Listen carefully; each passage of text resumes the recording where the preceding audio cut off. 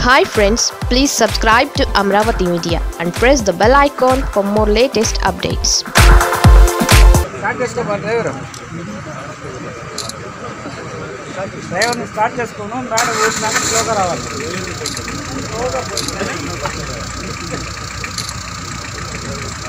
బావా ముందురా ముందురా కొద్దిగా బా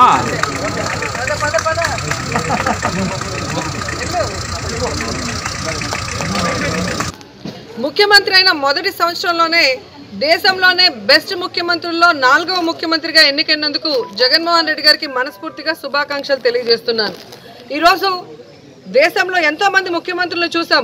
అధికారంలో రావటానికి ముందు ఎన్నో వాగ్దానాలు చేస్తారు. గెలిచి ముఖ్యమంత్రి అయిన తర్వాత ఆ వాగ్దానాల్ని గాలికి వదిలేయటం.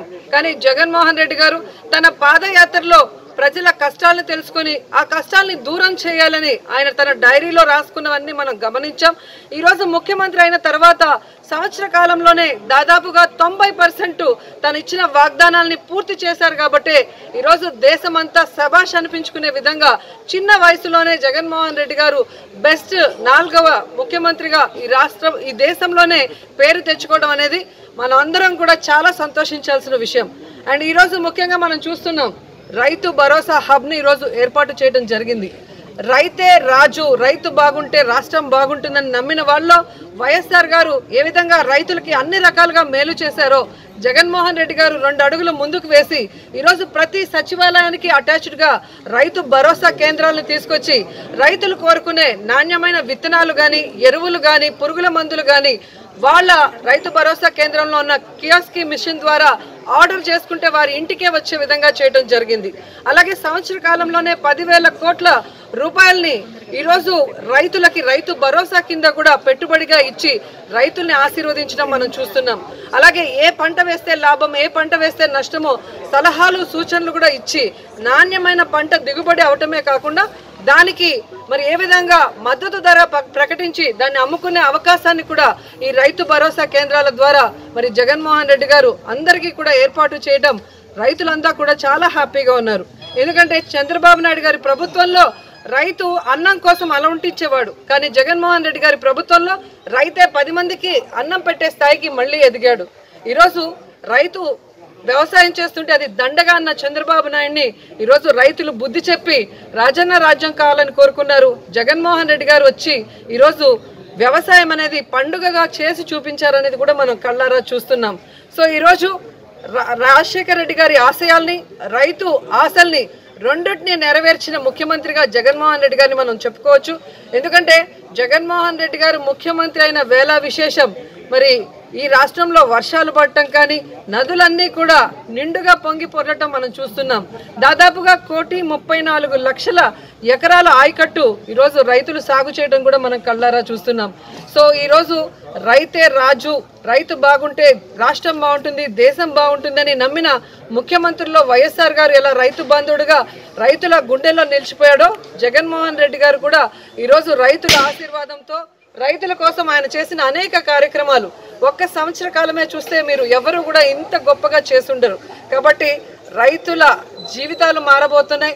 వారి ద్వారా మనం అందరం కూడా అభివృద్ధి వైపుకు అడుగులు వేసే దిశగా ఈరోజు అన్ని రకాలుగా జగన్మోహన్ రెడ్డి గారు ఆశీర్వదించడం చూస్తుంటే ప్రతి సంవత్సరానికి ఒక పేరు ఉంటుంది ఈ సంవత్సరానికి రైతు నామ సంవత్సరం అని కూడా పిలుచుకునే విధంగా రైతుల జీవితాలను వెలుగును తీసుకొచ్చారు జగన్మోహన్ రెడ్డి గారు. అండ్ ఈరోజు మీరు చూస్తే కరోనా లాంటి మహమ్మారి వచ్చినా కూడా జగన్మోహన్ రెడ్డి గారు ఏమాత్రం భయపడకుండా విజన్తో ముందు చూపుతో మరి ఈరోజు దేశంలోనే టెస్టింగ్లో నెంబర్ వన్ ప్లేస్కి తీసుకొని వెళ్ళటం జరిగింది. చాలా రాష్ట్రాల్లో టెస్టింగ్ చేసి పాజిటివ్ కేసులు ఉంటే గవర్నమెంట్కి చెడ్డ పేరు వస్తుందని మరి టెస్టింగ్లు కూడా చేయకుండా దాచిపెట్టిన దాఖలాలు మనం చూసాం.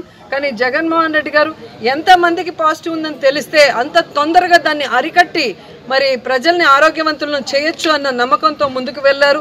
మరి ఆరోగ్యశ్రీ కిందకి దాన్ని తీసుకొచ్చి మరి ఎవ్వరూ కూడా ఈ కరోనా వల్ల పాజిటివ్ కేసులు వచ్చినా కూడా అప్పుల పాలు కాకుండా వారిని ఆశీర్వదించడం మనం చూసాం అలాగే ఈరోజు కోవిడ్ సెంటర్స్ని కానీ హాస్పిటల్స్ని ఏ విధంగా ఏర్పాటు చేయడమే కాకుండా ప్రతి నియోజకవర్గానికి కూడా క్వారంటైన్లను ఏర్పాటు చేసి మరి ఏ విధంగా ప్రజల ప్రాణాలు కాపాడటంలో అతను ముందున్నారో కూడా మనం చూసాం సో ఆడవాళ్ళకి చూస్తే ఈ కరోనా సమయంలో మరి ఎటు నష్టపోకుండా ఉండటం కోసం సున్నా వడ్డీకే రుణాల్ని మరి రాష్ట్రం అప్పుల్లో ఉన్నా కూడా కష్టకాలంలో ఉన్నా కూడా ఎవరి కన్నీళ్ళు తుడవాలి అనుకున్నారో ఆ విధంగా రైతుకు కానీ మహిళకు కానీ మరి నిరుద్యోగులకు కానీ కన్నీళ్ళు తుడిచిన విధానం మనం కళ్ళారా చూసాం. ఎందుకంటే నిరుద్యోగులు గత ఐదు సంవత్సరాల కాలంలో ఉద్యోగం కోసం ఎంత కష్టపడ్డారో మనం చూసాం. కానీ జగన్మోహన్ రెడ్డి గారు వచ్చి రాగానే సచివాలయ వ్యవస్థను తీసుకొచ్చి వాలంటరీ వ్యవస్థను తీసుకొచ్చి ఏ విధంగా నిరుద్యోగుల జీవితాల్లో వెలుగు నింపారు? ఈరోజు వారే ఈ యొక్క కరోనా సమయంలో తమ ప్రాణాలు లెక్క చేయకుండా పనిచేసి సో ఎక్కడికక్కడ బయట నుంచి రాష్ట్రాల నుంచి కానీ బయట దేశాల నుంచి ఎవరు వచ్చారు మరి ఢిల్లీకి వెళ్ళొచ్చిన వాళ్ళల్లో ఎవరికి పాజిటివ్ కేసు ఉంది? ఇమీడియట్గా ఇన్ఫర్మేషన్స్ ఇస్తూ ప్రభుత్వాన్ని అప్రమత్తం చేసి మరి ఈ కరోనా కట్టడికి వాళ్ళందరూ కూడా మరి ప్రాణాలు ముందు పెట్టి వాళ్ళు ఏ విధంగా పణంగా పెట్టి పనిచేస్తారో మనం అందరం కల్లారా చూసాం. సో జగన్మోహన్ రెడ్డి గారి విషన్ ఎప్పుడు కూడా సూపర్ అనేది ఈరోజు అందరూ కూడా చెప్తున్న విషయం.